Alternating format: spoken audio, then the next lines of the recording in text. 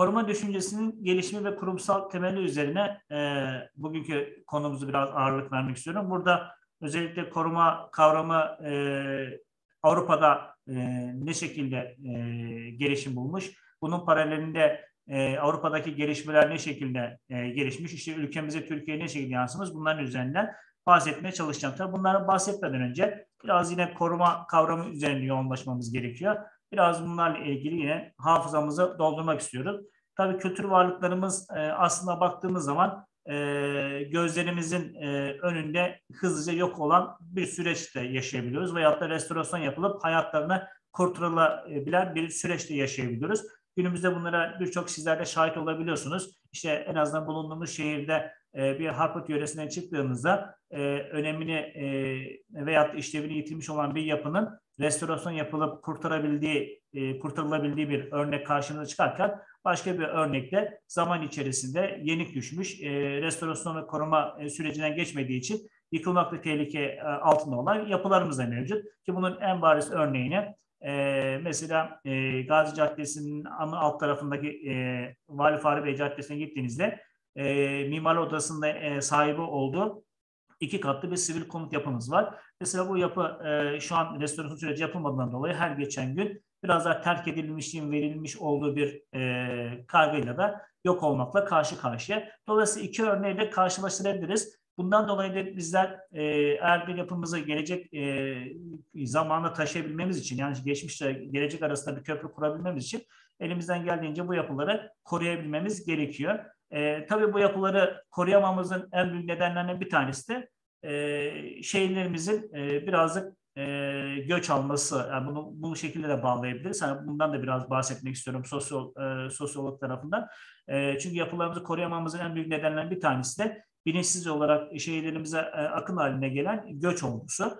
E, çünkü bir şehrin e, belleğini oluşturan belli yapılar vardır. Mesela Elazığ yöresi için ele alacak olursak burada herhangi bir tarihi misyonu olmasa dahi insan belleğini, toplum belleğinde yer edilmiş olan bir kapalı çarşı olgusu var mesela. Kapalı çarşı olgusu insanların belleğinde işlevinden dolayı yer edilmiş olan bir kültürel doku olarak nitelendirebiliriz. Veyahut da bir işte e, tarihi camiyi e, el alıp değerlendirebiliriz. Bir sivil konut yapılaşmasını ele alabiliriz. İşte buraya mal olmuş olan bir Harputulu Camisi'ni e, alabiliriz. Harput Kalesi'ni alabiliriz. Veyahut da başka bir şekilde eserlerle örnek verebiliriz. Kendi şehrimiz açısından düşünecek olursak. E, tabii ki buraya e, e, rastlantısal olarak yapılan göçler nedeniyle dışarıdan gelenler bunlara sahip çıkamayabilirler. Çünkü onları kendilerine ait hissetmeyebilirler geldikleri yöreler itibariyle. Dolayısıyla ne yapacaklar? Bunları e, kullanırken hor kullanma, biraz bilinçsiz kullanma, e, o kültür varlığının değerini ve önemini bilmemesinden dolayı e, zaman içerisindeki yapmış oldukları dokunuşlardan dolayı o yapıya zarar verebilirler. Bu önemli bir örneklerinden bir tanesi de işte Harput Kalesi'nde yaşıyoruz. E, kalenin duvarlarında gençlerin bilinçsiz e, olarak e, o tarih yapının önemini bilmemesinden dolayı yazılar yazması, e, sevgi sözcükleri yazması, e, kalenin duvarlarına ve burçlarında bu tür yazılar vermiş olduğu deformasyon nedeniyle zarar görmesi, işte bir e, türbe yapısından gittiğinde o türbe yapısının önemini e, bilmemesinden ve o şehre kattığı değeri bilmemesinden dolayı e, yaşanan e, deformasyonlar var. İşte dediğimiz gibi bazen rastlantısal göçler de e, bulunan şehir içerisindeki kültür varlıklarının zarar görmesine de sebebiyet verebiliyor ve kentsel bellikteki e, yerinin kaybolmasına da e, sebebiyet verebiliyor. Bunların önüne geçebilmemiz için de bizlerin e, bu gelen göç olgusundaki kişilere belki belli bir e, dereceye kadar e, o şehrin kültürel varlıkları ve mirası konusunda bilinçlendirme belki yapılabilir. E, bu da e, kentsel dönüşüm, kentsel planlama, işte e, kentleşme, kentleşme gibi e, kavramların doğru bir şekilde e, elden geçirilmesine bağlıdır diyebiliriz.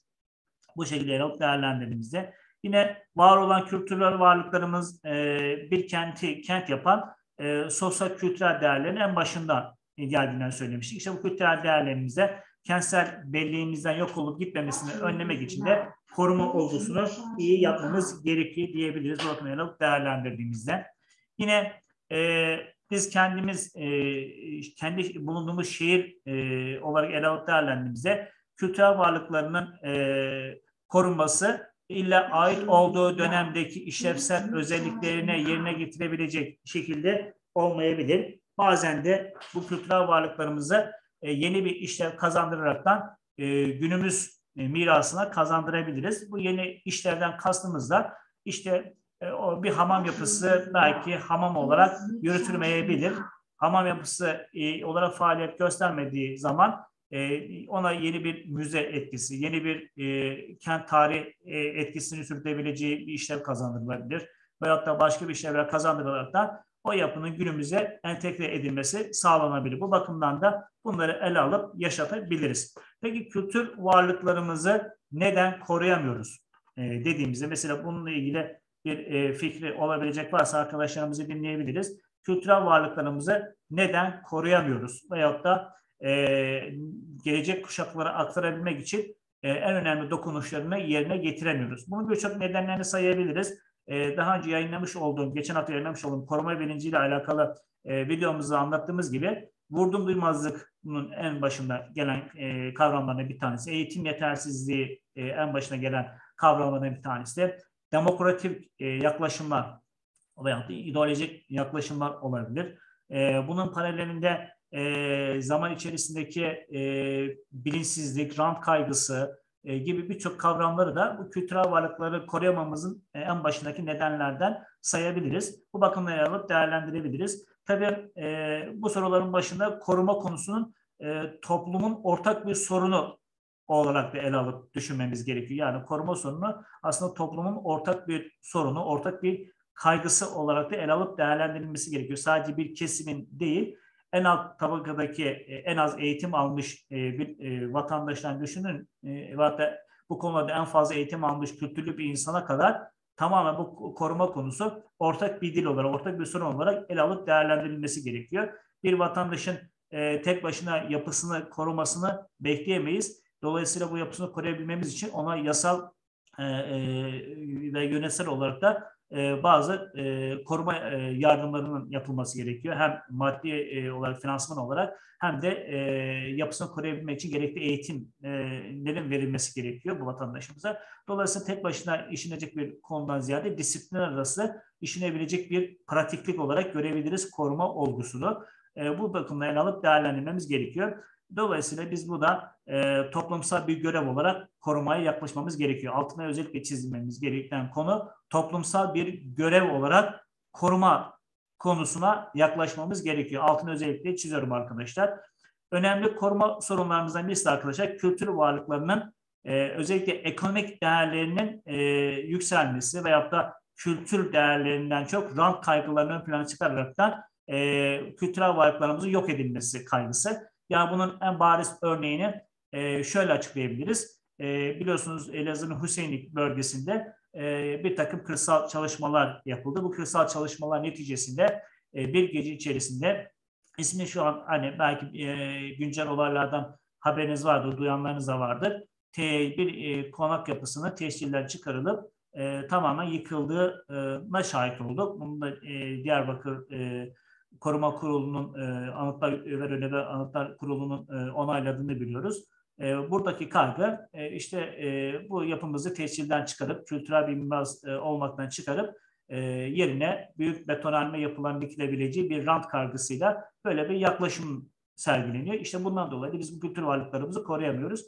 E, bilinçsiz bir yaklaşım olmasından dolayı da bu konak yapısının yıkılması sadece e, bir fiziki e, bedenden e, öte sosyallik, e, yaşanmışlık, o zamanın yapım teknikleri, o zamanın e, uslubu, malzemesi, anıları aslında e, komple bir e, geçmişi yok ediyorsunuz. Olayı biraz da bu gözle bakmamız gerekiyor. E, bir konak yapısının yıkılması, paralelinde getirdiği diğer e, konu, konut yapılarının e, işlevine de zarar vereceğinden, e, mahalle dokusuna, sokak olgusuna zarar vereceğinden dolayı da aslında siz bir bakıma kent bağlamında bir dokuyu da yok etmiş sayılıyorsunuz. Olayı biraz da bu bakımla ele alıp değerlendirmemiz gerekiyor. Sadece tek yapı ölçeğinde değil, yakın çevresiyle beraber ele alıp değerlendirdiğimizde aslında bir mahalle kavramının yok olmasına da sebebiyet verebiliyorsunuz. O yüzden biz yapılarımızı mümkün olduğunca koruma zorundayız arkadaşlar. Bu bizim e, olmazsa olmaz toplumsal görevlerimizden bir tanesi. Tabii ki her yapımızı koruyabilir miyiz? Her yapımızı e, koruyabilecek e, finansmana veyahut da bilgi sahip olabilir miyiz? Elbette hayır. Bunun için e, korunabilecek yapıların ölçütleri belli bir kurala ve ilkelere bağlanmıştır. Bunu biraz sonraki e, belki ikinci dersimizde e, görmeye çalışacağız. E, bunlardan da elimizdeki e, imkanlara göre e, belli bir gruplaşma yapılmıştı. Birinci grup yapılar, ikinci grup yapılar adı altında korunması öncelikli yapılar e, ele alıp değerlendirilmiştir. Bu bakımdan bu ölçütleri de e, kullanmamız gerekiyor e, bir yapının korunmasında. E, yine e, korumayı uygulayabilmemiz için eğitim seferberliğinin oluşturulması gerektiğinden bahsettik. Şu an mesela e, okullarımızda e, sanatla ilgili belki bir ders verilmiyor ya da kültürel varlıklarla ilgili. E, dolayısıyla bu varlıklarımızın e, önemli özellikleriyle ilgili e, konuların ta ilkokula itibaren e, hafızalara kazınması, bilinçaltına kazandırılması da e, elzem e, olan konulardan bir tanesi de diyebiliriz. E, yoksa e, dediğimiz gibi zaman içerisinde e, belli bir yaş grubuna gelmiş olan kişilerin e, tabii ki kültür bilincini, e, koruma bilincini al, al, almamasını düşünerekten yapıları korumasını biraz da beklemek e, zor olacaktır e, kanısındayız. Dolayısıyla özetle kültür varlıklarımızı korumamızdaki temel sorunları altı çizerek söylüyorum. Kültür varlıklarımızı koruyabilmemizdeki temel sorunlar altını çizerek söylüyorum ve buraya nokta ve vurgul e, koymanızı, vurgulamanızı istiyorum. E, beş yıldıza koyabilirsiniz. Özetleyecek olursak, ülkemizdeki korumanın toplumsal bir görev olarak ülke birerleyince yeterince benimsenmemiş olması. Yani ülkemizdeki koruma anlayışının biraz daha zayıf kalması nedenlerinden bir tanesi. Bunu biz aslında toplumsal bir görev olarak hala bireyselden en üst kurumlara kadar yetince kavrayamamıza bağlayabiliriz. E, son e, 15-20 yıl içerisinde bu kavram biraz da yer bulduğunu e, söyleyebiliriz ama bunun öncesinde e, rastlantısal korumaların yapıldığı e, bir dönem ağırlıktaydı. Yine koruma mevzuatındaki yetersizliklerimiz e, mevcuttu. E, her ne kadar Venedik Tüzüğü ve bir takım uluslararası sözleşmelere bağlı olsak da e, bunların e, bizim ülkemizde karşılık bulması ve mevzuatlardaki değişmelere, e, yönetmeliklere bağlı biliyorsunuz. E, bu mevzuatlardaki eksiklikler ve yetersizlikler de e, koruma olgusunun zayıflamasına e, sebebiyet vermekte, sorunların başına gelmekte. Yine kültür varlıklarımızın korunmasında önemli kaygıların bir tanesi rant biliyorsunuz ki hala altını çizerek söylüyorum rant konusu günümüzün de bir konusu biliyorsunuz. Bir gecede bir bakıyorsunuz birinci derece sit alanı olan bir yerin e, ikinci derece sit alanına çevrilmesi hemen korunması gerektiği bir e, atıyorum yeşil alan veyahut da diyorum ki e, tarihi e, misyonu olan bir çevrenin e, sit alanından çıkarılaraktan betonlaşmaya izin verildiği rant kaygıları da günümüzde yaygındır diyebiliriz. Bu konuda ele alıp değerlendirdiğimizde hala günümüzde aktif bir konu. Yine koruma kullanma dengesinin koruma lehinde gelişmemesi. Bunu da altına özellikle çiziyoruz. Koruma kullanma dengesinin arkadaşlar e, koruma lehinde hala günümüzde aktif bir rol üstlenmemesinde yine e, buna bağlayabiliriz. E, kültürel varlıklarımızı korumamızın nedenler arasında. Yine koruma konusundaki en büyük eksiklik az önce söyledik eğitimdeki e, eksiklikler yani eğitim düzeyinde yeterli bilginin verilememesi. Günümüzde hala bu sorun devam etmekte. E, ilkokullardan itibaren bunların verilmesi gerekmekte ve en yine güncel konuların başında ki günümüzde biliyorsunuz e, yaygın bir şekilde ülkemizdeki veyahut da hem şehirler arasında hem de ülkeler arasındaki göç olgusundan dolayı da kültürel varlıklarımızı koruyamamızı en büyük e, başına gelen e, sorunlar olarak bunları nitelendirebiliriz arkadaşlar. Bu bakımdan alıp e, kültürel varlıklarımızı koruyamamızın nedenleri arasında bunları sayabiliriz. E, tüm bunlardan yola çıkarak bizlerin e, koruma e, kavramının içeriğini iyi doldurmamız gerekiyor. E, geçen haftalarda, geçen derslerimizde söyledik. Dolayısıyla koruma kavramı arkadaşlar e, altını özellikle çizerek söylüyorum. Koruma nedir diye bir e, kavram e, karşınıza çıktığımızda e, mimarlık ve sanat değeri taşıyan her türlü mimarlık ve sanat tarihi taşıyan, değeri taşıyan her türlü e, tekil, obje, nesne, e, kültürel varlık e, gibi birçok e, eserin e, üzerinde sahip olduğu yöresel karakter, mimari karakterlerin gelecek e, nesle aktarılmasını sağlayabilmek için yaptığımız dokunuşlar e, olarak değerlendirebiliriz. Koruma olgusunu bu şekilde değerlendirmemiz gerekiyor. Tabii bu dokunuşların ne şekilde olacağını yine ileriki derslerimizde görmeye çalışacağız. E, korumanın böyle biraz genel olarak bahsettikten sonra biraz bu korumanın koruma düşüncesinin ne şekilde e, geliştiğini yani ilk koruma olgusu pat diye 1900'lü yıllarda 19. yüzyıllarda ortaya çıktı. Hayır. E, yapıtların yapım aşamasına itibaren ta antik çağlardan itibaren koruma olgusu, restorasyon olgusu mevcuttu. Ama günümüzdeki uygulamalarıyla biraz değişkenlik göstermekteydi. E, nasıl dediğimizde e, tabii daha önceki yıllarda Selçuklularda, Beylikler zamanında Orta Asya'da, Mezopotamya'da, Mısır'da yapılmış olan ağırlıklı olarak dini figürler o dönem içerisindeki yıpranmışlıkları onarılmak ve e, o anki dönem içerisinde hayatını devam ettirebilecek dokunuşlar şeklinde e, devam eden bir koruma anlayışı mevcuttu. Yani bir yapının e, yıpranmış olan bölgelerinin onarım ve tamirattan geçirilerekten yine hayatını devam ettirilmesi şeklinde bir koruma anlayışı varken e, günümüzdeki koruma anlayışı da e, artık işlevini ve misyonunu yitirmiş, o dönem içindeki işlevini yitirmiş olan yapıların tarihi birikiminin, kültürel birikiminin artık e, günümüz koşullarında geleceğe aktarılabilecek dokunuşlar olarak ifade edebiliyoruz. E, bu şekilde geçmişle günümüz arasındaki koruma arasındaki farkındalık, yani farklılık bu şekilde değerlendirebiliriz. Ya geçmişte de vardı, günümüzde de vardı ama aralarındaki temel farklılıklar e, yapıya e, e, yaptığımız müdahaleler şeklinde karşımıza çıkmaktadır diyebiliriz arkadaşlar.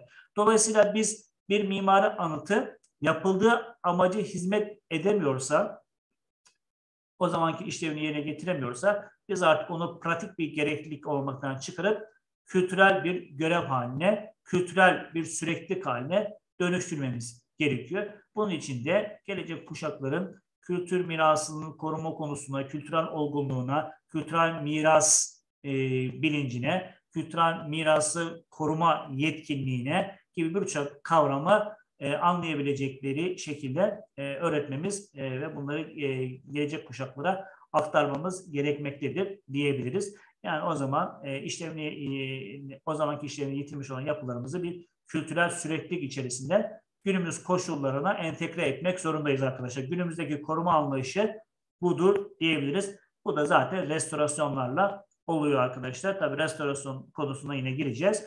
E, her restorasyon restorasyon değildir. Bazı restorasyonlar e, bir cinayet, e, bir rezillik halinde dönüşebiliyor bazı uygulamalarda. Bunlar yine yeri geldiğinde görseller üzerinden dokunmaya çalışacağız arkadaşlar.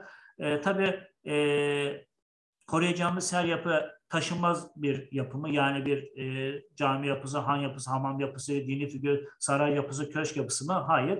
Taşınabilir nitelikte yapılarımız da vardır. Yani bir e, kazı içerisinden çıkarılmış veyahut da bir e, cami içerisinden veyahut da bir e, yapı içerisinde çıkarılmış, müzelerde sergilenme olanağı bulmuş, taşınır nitelikteki e, eserlerimizde yine korunması gerekli eserler arasında sayabiliriz. Bugün müzelerimizde sergilenen binlerce, e, yüz binlerce eser taşınabilir nitelikte eser olarak e, sayabiliriz. Bunların içerisinde geçmişteki yapılmış dokuma kültüründen tutun da çanak çömlek kültürüne kadar, yiyecek ve içecek kültürüne kadar veyahut da e, mimari e, öğelere kadar, e, süsleme ve dekoratif öğelerine kadar birçok yapının müzelerde sergilendiğini görebiliyorsunuz. Zaten sizler de belki gezmişsinizdir. Hatta şu an biliyorsunuz yaygın olarak Göbekli Tepe'de veyahut da bazı yerlerde yapılan kazılarda ortaya çıkarılan birçok e, taş anıtlar, kabartmalar, e, büyük taş bloklarını simgeleyen e, resimsel e, süsleme öğeleri, bezemeler işte Hatay'da, Antakya'da, Urfa gibi müzelerde sergilenme olanağı bulmaktadır diyebiliriz. Bunlar da taşınabilir nitelikteki eserler ve korumamız e, gerekiyor bu tür eserlerimizde. Dolayısıyla e, kazılarda ortaya çıkarılan e, kısmen gün yüzeyine çıkarılmış e, eserlerimizde bu bakımda ele alıp değerlendirmemiz gerekiyor arkadaşlar. E, e, buradan yola çıkaraktan geçmişten günümüze koruma olgusunu 19. yüzyılda özellikle Avrupa'da e, yaygınlık kazanıp e, bir e, gelişim olanağı, gelişim e, e, olanağı bulup ülkemize de yansıdığı bir süreç karşımıza çıkacak arkadaşlar. Buradan bu şekilde e, devam edip gideceğiz. E, süremiz azaldı. E, diğer dersimizde e, tekrar buluşmak üzere diyeceğiz arkadaşlar. Bir